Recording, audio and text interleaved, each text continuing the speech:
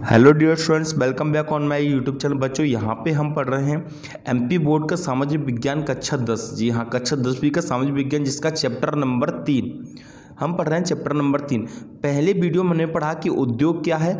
आज हम पढ़ेंगे भारतीय अर्थव्यवस्था में उद्योगों का। यहाँ पे कृषि लिखा है, उद्योगों का क्या महत्व है, ये समझाइए। तो चलिए, बहुत ही महत्वपूर्ण क्वेश्चन है। एग्ज़ाम में कई बार आ चुका है। तो देखिए, क्या है? बहुत ही कि औद्योगिक आयोग के अनुसार ईसा पूर्व से ही भारत एक औद्योगिक राष्ट्र था। भारत कैसा था? एक औद्योगिक राष्ट्र। औद्योगिक राष्ट्र का मतलब ये है कि भारत में बहुत ज़्यादा वस्तुओं का निर्माण किया जाता था। जो छोटे छोटे जो कारीगर थे, वो वस्तुओं का बहुत ज़्यादा निर्माण करते थे।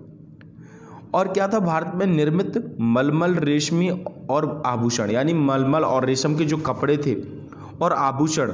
विदेशों को निर्यात किए जाते हैं। यानी इतना ज़्यादा आविष्कार होता था, इतनी अच्छी क्वालिटी का आविष्कार होता था कि हमारे देश में जो प्रोडक्ट जो बनते थे, उनकी जो मांग थी वो विदेशों में बहुत ज़्यादा थी। तो हम क्या है, विदेशों में उस, उन वस्त्रों और आभूषणों को क्या करते हैं, निर्यात करते हैं। लेकिन लेकिन फिर क्या हुआ? उसके बाद अठारहवीं शताब्दी के मध्य यूरोप में हुई औद्योगिक क्रांति के कारण।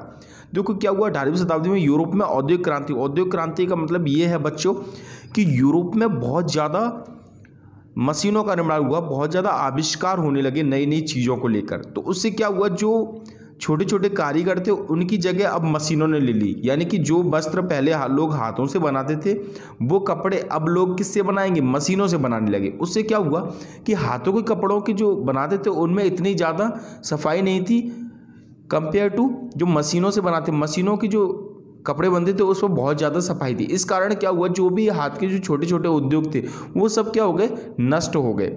और इस कारण जो भारतीय कुटीर उद्योग धंधे थे, वो पूरी तरीके से नष्ट हो गए। फिर क्या हुआ, लोग बेरोजगार हो गए, क्योंकि वस्त्रों, विदेशों में जो वस्त्रों का निर्माण करते थे, उससे अच्छी खासी उनको जो कीमत मिल जाती थी, वो अब कीमत आना बंद होगी तो लोग बेरोजगार हो गए। उनने कहा, रोज़गार, अब उनको कुछ ना कुछ काम तो करना ही था। तो धीरे धीरे ये जो अर्थव्यवस्था है उद्योगों का स्थान सीमित हो गया और भारतीय अर्थव्यवस्था कौन सी होगी? कृषि प्रधान होगी। आज की डेट में आपने सुना होगा, भारतीय कृषि प्रधान देश है। मैं आपको बता दूँ कि पहले भारत बिल्कुल भी एक कृषि प्रधान देश नहीं था। भारत में वस्तुओं का बहुत ज़्यादा निर्माण होता था, यानी एक औद्योगिक राष्ट्र था। लेकिन यूरोप में जो नए नए आविष्कार हुए, उसकी वजह से भारत को कृषि करनी पड़ी और भारत क्या है, एक कृषि प्रधान देश बन गया। तो आइए बात करते हैं, उसके बाद क्या हुआ? उसके बाद स्वतंत्रता प्राप्ति के बाद, आज़ादी के बाद आर्थिक विकास के लिए, औद्योगिक विकास की आवश्यकता का अनुभव किया गया। क्योंकि सरकार को ये समझ में आ गया था कि बिना औद्योगिक विकास के किसी भी देश की प्रगति या फिर तरक्की नहीं हो सकती। तो उन्होंने कहा, हमें औद्योगों का विकास करना चाहिए। उसके बाद उन्नीस सौ पचास में राष्ट्रीय योजना आयोग की स्थापना हुई। उन्नीस सौ में, इक्यावन पंचवर्षीय योजना शुरू हुई। पंचवर्षीय योजना क्या है? पाँच वर्ष वर्ष की योजनाएँ बनाई, लक्ष्य बनाए, कुछ टारगेट बनाए कि इतने साल में हमें उद्योगों में इतना बेनिफिट चाहिए, इतना इतना हमारा उद्योग बहुत ज़्यादा होना चाहिए, उससे क्या होगा, लोगों को रोज़गार मिलेगा। तो पंचवर्षीय योजना के माध्यम से भारत के औद्योगिक विकास के लिए चरणबद्ध उद्देश्य निर्धारित किए गए, जिससे क्या हुए, कई लाभ प्राप्त हुए। क्या लाभ प्राप्त हुए, चलो उनके बारे में बात करते हैं। तो देखिए पहला जो लाभ है, वो क्या हुआ?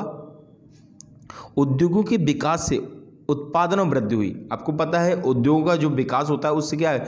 हाथ से कितने? बहुत ही कम प्रोडक्ट का प्रोडक्ट बनाए जा सकते हैं, लेकिन मशीनों से क्या बहुत ज़्यादा वस्तुओं का निर्माण किया जा सकता है, क्योंकि जितनी ज़्यादा क्वांटिटी होगी, तभी तो हम विदेशों में उसकी पूर्ति कर सकते हैं, नहीं तो हम अपने यहीं पे पूर्ति नहीं कर पाएँगे।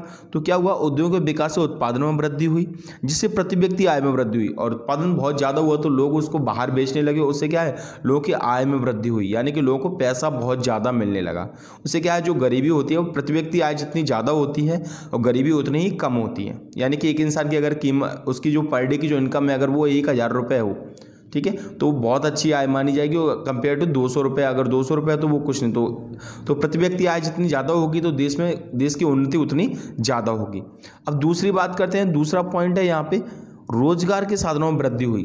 दूसरा पॉइंट क्या है, रोज़गार के जो साधन है, उनमें वृद्धि हुई, लोगों को रोज़गार मिलने लगा। तीसरा, राष्ट्रीय आय में वृद्धि हुई, आपको पता है, जब प्रति व्यक्ति आय बढ़ती हो, उत्पादन बहुत ज़्यादा होता है तो राष्ट्रीय आय में भी क्या है, वृद्धि हुई। सरकार को बहुत ज़्यादा टैक्स मिलने लगा, उससे क्या है, सरकार की क्या है, और अच्छी गुणवत्ता देने लगी। उसके बाद जो लास्ट है, वो क्या है, उद्योग के विकास में अर्थव्यवस्था के अन्य क्षेत्रों जैसे खनिज परिवहन आदि में भी वृद्धि हुई। आपको बताया जैसे जैसे उद्योग का विकास हुआ, उद्योग का विकास हुआ तो क्या हुआ, कृषि क्षेत्र को भी बहुत ज़्यादा इसका फ़ायदा मिला, क्योंकि नई नई मशीनें आ गई, उससे कृषि क्षेत्र में और ज़्यादा तरक्की हुई। खनिज परिवहन, इनको भी क्या लाभ मिला इनका? तो उद्योग क्या है? बहुत ज़्यादा महत्वपूर्ण है भारतीय अर्थव्यवस्था के लिए। तो आई होप आपको ये क्वेश्चन समझ में आ गया होगा। बहुत ही इंपॉर्टेंट क्वेश्चन था। अगर आपको ये क्वेश्चन समझ में आ गया तो मेरे इस वीडियो को लाइक कर दिए और चैनल को सब्सक्राइब कर दीजिए। और जो भी आप वीडियो चाहते हो, जिस भी टॉपिक के बारे में तो आप मुझे कमेंट में लिख सकते हैं। तो वीडियो पूरा देखने के लिए थैंक यू